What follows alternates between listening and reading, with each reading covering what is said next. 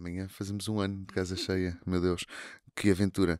Um, tem corrido bastante bem, bastante bem para um primeiro ano em que, não sei, isto parte assim de uma, partiu de uma, de uma aventura, vamos abrir um espaço, vamos dar, criar mais um espaço em, em Lisboa que, possa, que permita um, a criação artística, que permita que os artistas tenham um, um, mais um espaço, tanto os músicos como uh, as pessoas mais ligadas à, à parte performativa, uh, de, de, de, ensaios, de, de pesquisa e de apresentação não é? E é, tivemos eh, duas mil pessoas num ano, o que não estávamos nada à espera. Portanto, assim, umas contas por alto que fizemos foram duas mil pessoas, uh, entre outras que não contabilizamos, uh, sobretudo aquelas que passaram aqui pelos ensaios, portanto, aí já deve aumentar o número. Um, e foi assim uma grande, novamente, aventura um, que se traduziu precisamente naquilo que queríamos. Uh, um centro cultural, um centro artístico, um centro cultural, uh, que aliasse aqui a população da Penha de França, que aliasse os artistas que tam, também da Penha de França e, e não só, de Lisboa e, e de, outros, de outros pontos de, de Lisboa, sobretudo. Um, portanto, temos assim um balanço bastante positivo e, e, e, e foi, foi, foi ótimo, foi ótimo. Foi ótimo, posso dizer que sim. nós somos uns sortudos, nós somos uns sortudos. Uh, uh, nós temos, temos uma ótima relação com o bairro. O bairro tem. Uh, às vezes é mais difícil o bairro descobrir uma coisa que é do bairro do que propriamente as pessoas de fora. Isso portanto, é sempre assim um processo quase de, de, de mediação cultural. Ir, temos que eh, este ano já vamos criar um outro tipo de, de, de mediação, de, de, chegar mais próximo de, desta população. Mas o bairro, enquanto bairro, primeiro, uma coisa ótima que é uh, somos um sítio barulhento, não é? Uh, também respeitamos os vizinhos, os nossos concertos são sempre às 18 horas aos fins de semana, portanto temos assim os horários sempre uh, que nos parecem bem, tanto para a vizinhança como também para, para, para o público uh, e então temos uma ótima relação. As pessoas ah, parece, parecem gostar de nós, agora já conseguimos dizer, parecem gostar de nós, não achas? Uh, e, e, então, e acho que parecem felizes. Isto é um bairro muito, muito ligado às artes. Há assim um, uma, uma chamemos-lhe um êxodo uh, da comunidade artística que vem aqui para este bairro, que portanto é assim uma mistura entre um, pessoas que já que nasceram cá, já este é um bairro, um, este é um bairro dos anos, dos anos 30, mas assim, tem assim um grande boom nos anos, uh, uh, no, no, no, durante o Estado Novo ainda. Um, e há pessoas que nasceram cá, pessoas que os filhos cresceram cá, portanto há assim uma, é um bairro, há esta familiaridade de bairro. E, eh, esta, e há uma boa, chamamos de uma boa gentrificação, apesar da palavra ser complicada, mas porque convive-se, ou seja, dizemos bom dia, conhecemos os vizinhos um, e isto dá-nos assim, nós somos uma casa, não é? Ou seja, chama-se casa cheia e nós conseguimos, através do bairro, também dar esta coisa cozy, não é? Não, é? não sei se queres acrescentar alguma coisa. É não, realmente foi, foi uma, uma boa surpresa esta parte dos nossos vizinhos. Um, e, e ao início foi estranho porque eu achei que nós teríamos muito mais vizinhos uh, a vir cá, porque pelo menos nesta rua, que é a Rua Lopes, não se passa grande coisa a nível cultural. Um, e é mais difícil do que nós estávamos à espera chegar às pessoas que moram mesmo aqui, como o Miguel estava a dizer. Um, mas tivemos, mesmo assim, tivemos, tivemos uma boa recepção.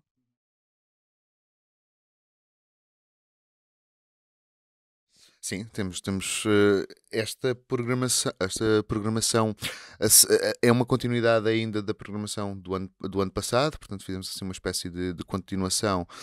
Um, e as linhas programáticas assentam, assentam muito no jazz, na música indie alternativa e um, na performance enquanto performance o termo enquanto algo que é performático não pode ser teatro pode ser dança pode ser é algo que tem este, este aspecto. Um, e então uh, houve alguns convites que nós fizemos a alguns artistas, outros que nos também nos contactaram para, para, para apresentar os seus, os seus, os seus trabalhos.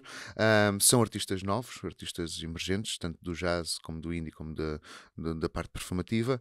Uh, portanto, esta é a nossa, é a nossa linha, trazer novos artistas uh, a um espaço um, com umas características diferentes do habitual, ou seja, nós, um, sobretudo assim, no jazz temos sempre esta, esta questão, nós não somos um bar, somos uma sala de espetáculos, não é? Uh, com condições diferentes, porque são concertos sempre intimistas, não é? E isso é nossa, e cada vez queremos vincar mais essa, essa intimidade entre, entre o público e o, e o, artista. Pronto, e essa diferenciação dar-se-á por, por este caminho. Um, e então assenta nestas três linhas: jazz, indie alternativa e, e parte performativa. Posso, posso adiantar, temos, uh, temos ótimos concertos. Uh, ah, entretanto, a primeira parte da programação, este setembro, temos, há dois concertos que saltaram para o Festival da Penha de França, Festival PDF, que é o, que é o Rodrigo, o, o, ah, Rodrigo Santos Duo, e o, que é um duo jazz, piano e guitarra, e a Filipa Paz, uh, que vem cantar com, acompanhada pelo Vasco Pimentel ao piano, saltaram para o, para, para o festival. depois temos, temos músicos como o Mago, que é um músico que eu, que eu tenho, gosto muito e, e vem-nos trazer uma um trabalho sobre o amor. Temos a Inóspita, que vem, vem também com a sua guitarra dar-nos. Uh, vai ser um concerto muito interessante neste espaço, por causa dessa relação com, com o público. Estamos a falar de uma guitarra, guitarras elétricas. Depois temos, um, um, temos o Eduardo Molina, que vem traz-nos o Enfim da Potência da Luz do Sol, mas numa outra versão. Uh, isto foi um desafio que eu lancei ao, ao Molina, que foi. Uh, uma espécie de, de divisão da, da, da, da, própria performance ou do próprio espetáculo.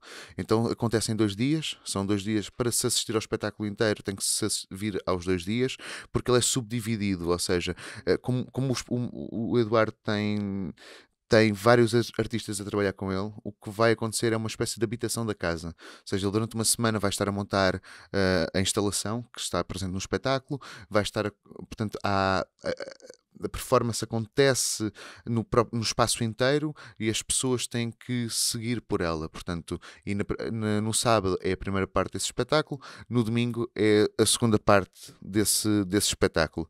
Uh, portanto, para assistir ao todo, tem que vir, tem de vir nesse, nesse, nesses dois dias, sendo que tem a opção sempre de vir só um, mas aconselho a vir aos dois, vivamente. Um, temos. Uh, nós também eh, temos, eh, temos a Arma, que é, um, que, é um, que é um trio de jazz de músicas de intervenção e portanto, canções de Abril, uh, que vai ser agora dia 1 de Outubro. Um, e temos assim a fechar, continuamos com o ciclo de poesia contemporânea, que é um. Esta poesia contemporânea é uma é provocação que eu faço, que nós fazemos, eu e Ana Cláudia Santos, porque é literalmente contemporâneo, é alguém que escreveu ontem, poetas que escreveram ontem e que apresentam aqui, portanto, é brincar com essa palavra que é contemporaneidade, que, me é muito particular. Um, e mantivemos esse ciclo até dezembro e, portanto, faltava-me essa parte da poesia, um, mantivemos esse ciclo.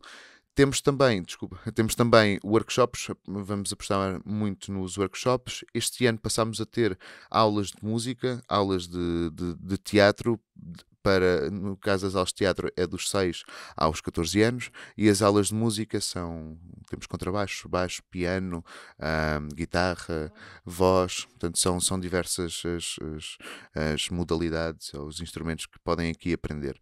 E penso que desta a programação, depois há outras novidades, mas a programação foi, foi mais ou menos pensada desta forma.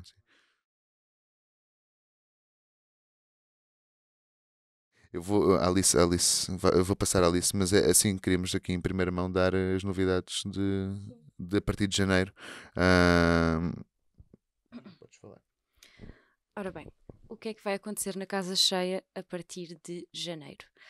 Uh, nós tivemos muitas questões sobre o que é que seria o futuro do espaço enquanto linha programática. E então o que, o que, nós, o que nós começamos a perceber é que este espaço é um sítio de pesquisa, onde os artistas, a nossa, a nossa, a nossa proposta aos artistas é que eles venham cá e façam residências e depois apresentem aquilo que estiveram a discutir.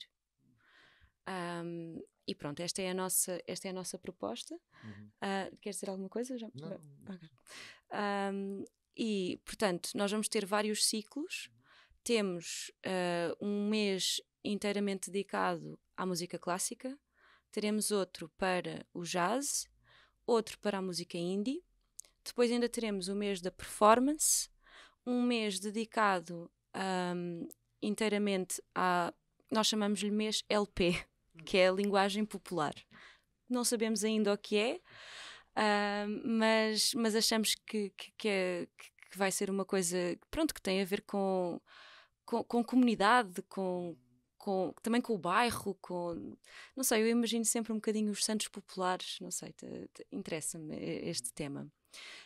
Um, e depois teremos também um mês dedicado às pessoas trans, que é um tema que eu acho que, que deve ser cada vez mais discutido.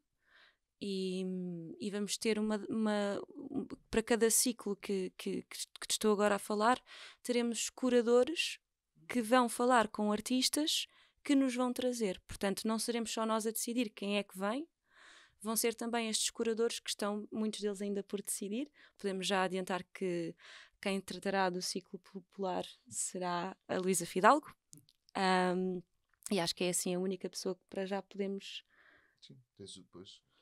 Depois tens o, o, o, o, último ciclo, o ciclo que finaliza uh, 2023-2024, se, uh, que estamos ainda em discussão, porque eu gosto muito de chamar-lhe do fim, mas dizem-me que o fim não é em julho, e eu, eu gosto que o fim seja várias vezes. Uh, e, e também são portanto esse mês são são eu, o ciclo fim são são quatro fins de semana dedicados a cada uma das nossas áreas, é? ou seja, a erudita, a erudita clássica, o, jazz, o indie e a performance. E cada, cada um deles, deles, tem uma curadoria, ou seja, a erudita é o Samuel Dias, o jazz é Nazaré da Silva, eu faço a performance e o Diogo Lourenço faz, eh, que, eh, faz a curadoria do indie. Dizer também, esta linha programática, e porque é que a Alice falou nas comuni na comunidade, esta linha programática assenta dois temas muito em que, em que nós convidamos os artistas a trabalhá-los uh, sobre, sobre estes dois temas. O primeiro dá-se com esta perspectiva de, da inteligência artificial um, e é um desafio que eu, que eu que nós, que nós damos, que é inteligência artificial, um, ou melhor, a comunidade versus inteligência artificial. Eu acredito que, que caminhemos uh, no sentido da pele, em que nós precisamos do outro. O teatro não irá desaparecer porque é pele, é, é vivo, não é? E então esta coisa também da, lingu da linguagem popular tem a ver com isso, tem a ver com a necessidade de nos juntarmos cada vez mais, porque eu não sou, eu não, não sou um, apologista desta coisa, ah, vamos todos perder o emprego, ou isto vai correr tudo mal. É preciso ter cuidado, claro, é preciso legislar sempre, mas acredito, e olhando para a história, novos empregos surgiram, novas ideias daí vieram e nós queremos trabalhar uh, em contraponto uh, a comunidade em contraponto com a inteligência artificial. Só o segundo tema, desculpa. Uh, o e o segundo tema é, tem a ver com um conceito de aceleração de da sociedade. Nós, enquanto partículas, uh, caminhamos para uma aceleração cada vez maior e partindo do pressuposto que o Big Bang, enquanto teoria, é comumente aceite, uh, há claramente uma, uma perspectiva de explosão ou de implosão, neste caso da sociedade, não é? Um, e podemos uh, atribuir isso, essa explosão, às alterações climáticas. Ou seja, é é um, é, é, é um medo que eu tenho e que quero trabalhar, ou seja, nesse sentido, quero que os artistas, gostava que os artistas trabalhassem esse sentido de aceleração e de comunidade ao mesmo tempo. E, e, e pronto, e a nossa programação de, vamos finalizar desta forma com três ciclos: LP, o ciclo dedicado às pessoas trans e, o, e o ciclo O Fim, uh, em julho.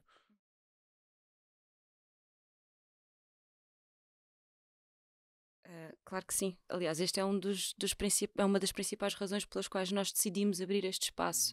É, é um apoio, é um espaço de, de apoio à criação artística e há cada vez mais pessoas a tentar entrar neste mundo.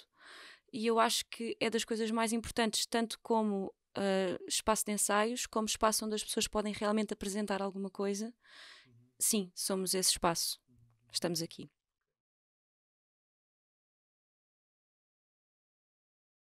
Eu, eu consigo imaginar a casa cheia.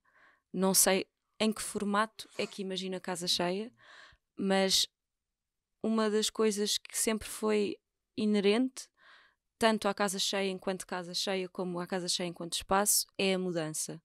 Portanto, acho que a casa cheia existirá sempre diferente. Posso responder essa?